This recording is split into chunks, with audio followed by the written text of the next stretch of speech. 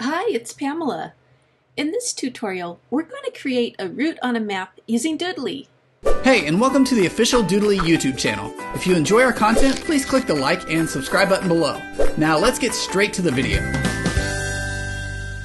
Do you need to give directions to your event or location? Do you want to provide a visual representation of where the event is and what route people should take? If so, then this video might come in handy. We're going to go over how to draw a route on a map using Doodly whiteboard software. Now this can be done for any type of map, but we're going to use Google Maps as an example. As you can see here, I've created a short video about an upcoming fictional event. And I'd like to add a scene at the end showing everyone how to get to the venue from a major landmark. In this example, we'll use the San Diego Convention Center as our venue, and I'll use San Diego's airport as the starting point. So the first thing obviously that you're going to need is a map. So let's head over to Google Maps. You'll see here I've got my map of San Diego and I've already entered San Diego International Airport as my starting point and San Diego Convention Center over here as my ending point. It's going to take them about 11 minutes and it's 3.9 miles. All they do is they follow North Harbor Drive along the route like so. So it's pretty simple and we are going to show them how to do it using Doodly. The first thing that we're going to want to do is get rid of the route itself. This is just for our purposes to know, okay, this is where we're going. So how do you do that? Well, you just click that X and now the route's gone. So we know we want to start over here on North Harbor and do that. But I find it's a little confusing with all this information on the map. So we want to go down to layers down here, click more, and let's turn off labels. That's going to simplify the map for us. Once you've done that, now you may want to reposition the map a little bit. We know the airport's here and the convention center's down here. This is a major highway, Highway 8, and then another one, I-5. So we probably want to label those, so that's why I want to move it down just a little. And I think that should be just fine for our purposes. I'm going to go ahead and close this, close this. Now we just need to take our screenshot. Let's do it. I'm going to go ahead and take my screenshot.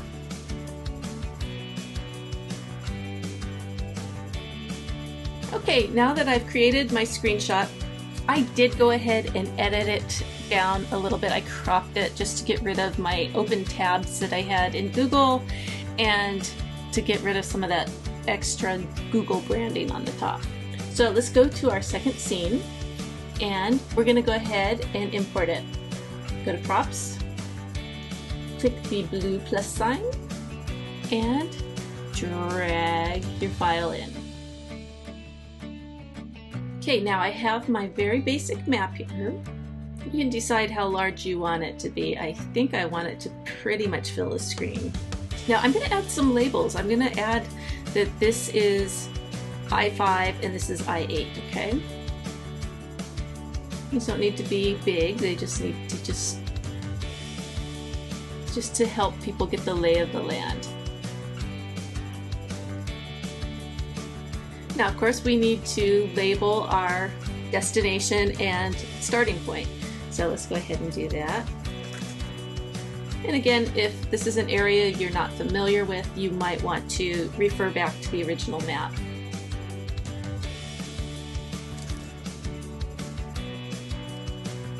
Now let's add some little markers onto our map.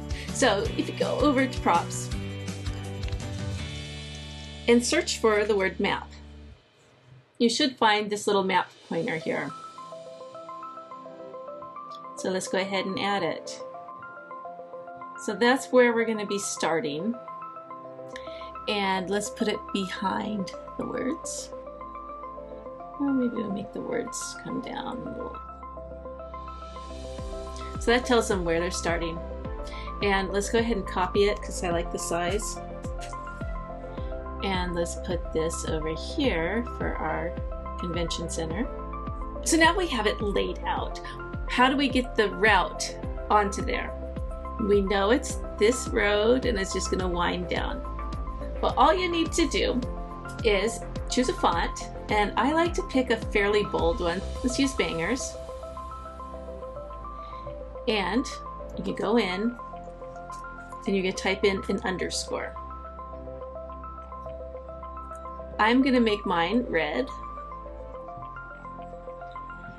And that's what we're going to use. We're going to just copy this over and over along the route.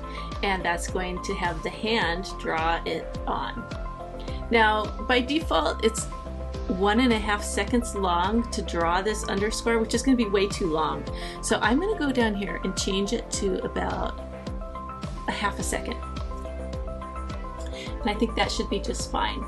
And one of the reasons I like to use this underscore rather than one of the arrows or shapes is because I can make it really small or really large, okay? But I'm going to want it pretty small to fit on my road here. Now we can zoom in a bit and we can place our underscore where we want it. So once I have it where I want it, I'm going to go ahead and copy it, Control C or Command C, and then Control V or Command V to paste it.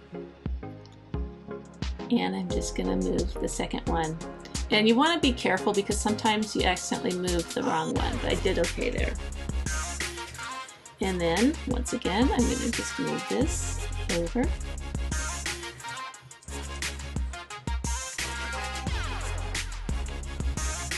So I'm just hitting Command V or Control V over and over paste it, and then I'm just moving it over. And now as we get over here, we want to start adjusting. So you just use this little rotate tool to do it.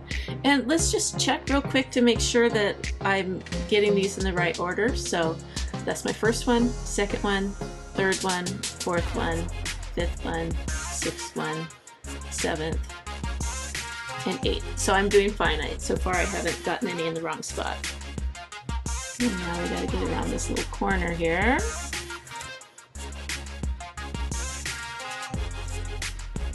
Now I'm to copy this one because it's in the right rotation. And this can get a little tedious, but it, it really doesn't take a whole long time. It doesn't take long at all. In this case, let's make this one just a little smaller for our turn here. It's a pretty sharp turn. And then I just copied that one because it's in the right rotation for me. Okay, so now we have our route and it should be good. Let's see A few little fine tuning things I want to do. I want to turn this so that it fades on rather than scribbles on. So I did that. I went to the pencil icon and I chose the fade mode rather than the reveal. And then I want to make sure that I'm happy with the order. I also don't need three seconds, so we'll do two seconds on that. And then this will draw on. And then let's have I8 come on first and this can be really short. We don't need a lot of time to do that, and the same with I5. And then, do we want the marker first or the name? I think the marker. Again, do I want three seconds? No. One and a half should be more than enough. And we want to decide what comes first, the airport marker or the convention center. I think the airport marker should come first. And I'm going to then go San Diego International Airport. One and a half seconds. And that one's one and a half seconds, and then that should be fine. And then we have our route. You know what? Let's have the map already be on, and our interstates can already be marked on. Let's add a little extra time at the end here.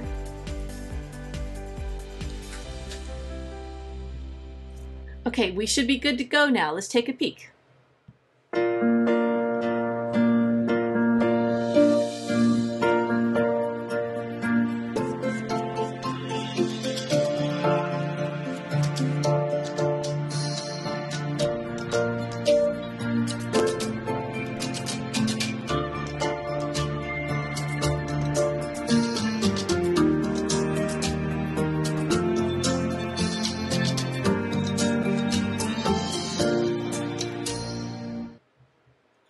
And that's the basics of creating a route on a map in Doodly.